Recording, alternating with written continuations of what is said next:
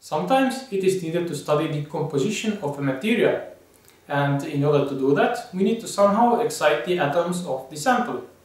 And uh, this can be done either by X-rays or electrons. When we expose the sample to X-ray radiation or bombard it with electrons, then the inner shell electrons of the sample atoms may be kicked out. The atom cannot stay excited for a long time, so an outer shell electron comes to occupy the empty spot. And during that process, characteristic X-rays are generated. The energy of the emitted X-rays depends on the binding energy of the electron which was kicked out and the binding energy of the electron which came to occupy the empty spot.